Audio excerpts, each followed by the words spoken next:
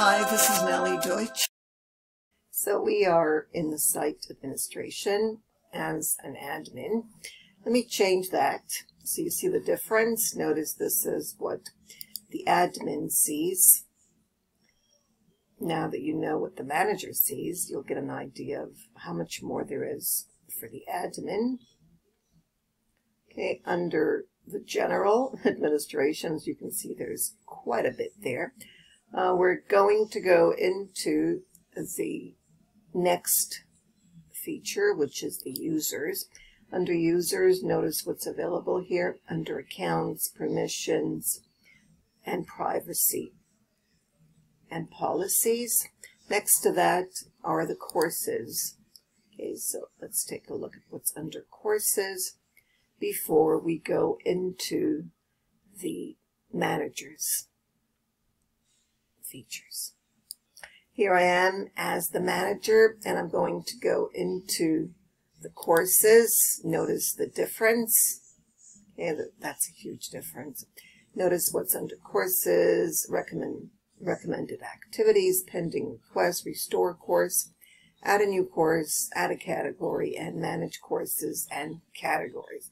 So we're going to go into manage courses and categories. Notice what you can do here. You can actually do quite a bit. Uh, you can uh, create a category over here, but you can also create a new course once you have the category. Let's go into, and that's what you'll be doing. You'll be trying this out. So let's get started with add a new category. So that's the first thing you're going to do. Add a new category. And notice there's a parent category, but you're going to change that and go into top. Let me just make sure that you see that. Instead of uh, settling for what's there by default, you're going to go into this area. Click on search over here and then you'll get top. That's the category that you're going to hit there. So I hit top now under top, I'm going to write a new category name, and then I'm going to add courses under this category. Make it a unique name so that it's only yours unless others want to join in. But this is going to be your very special feature. I'm going to add, I added my name, and then I'm going to create the category. Under Nellie, I'm going to add my courses. All right, so let's look for the Nellie. There is Nellie down here. I am going to, there we go, going to go into either here under Nellie or go into this gear. Okay, let's go to the right here and create a new course. And I'm going to call this course Nellie Deutsch. That's going to be the first course that I'm going to add.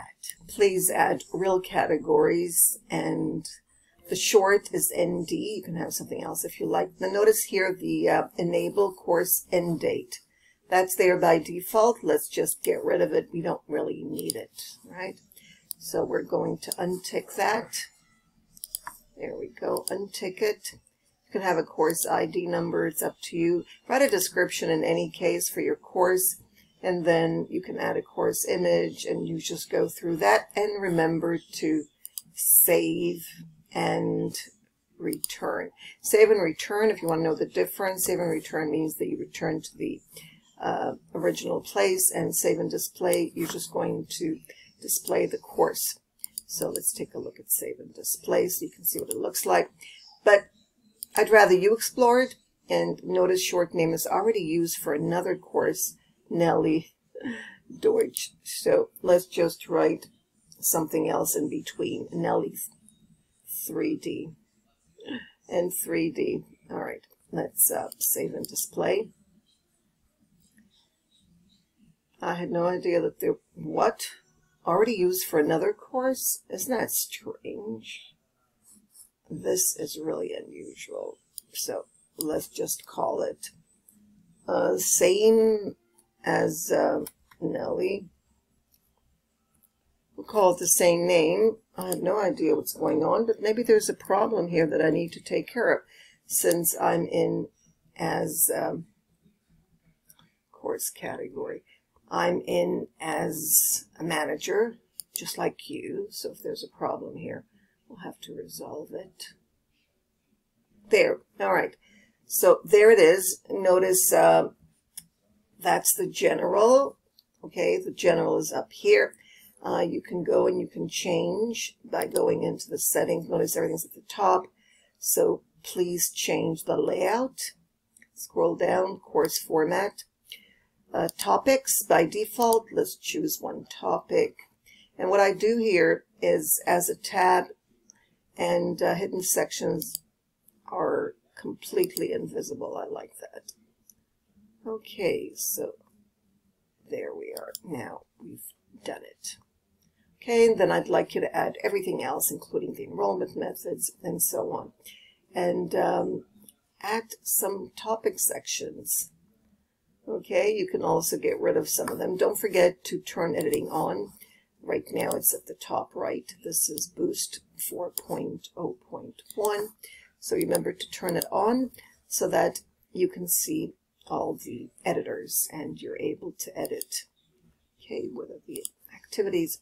And the general is there by default. You can't really do anything, but please um, edit the section by adding a custom name. You should know that by now. You click on the radio button there, and then you can add the custom. Let's go back into um, settings here. Okay, and um, make sure that everything is good to go. All right, so I'll let you play around with that and show us how you created a course, added a few topic sections, a few activities, and so on. All right, let's see what else is available here. Um, when we go into the site, no, not the site administration, that wasn't what I wanted to do go back into my courses. Now it's my course.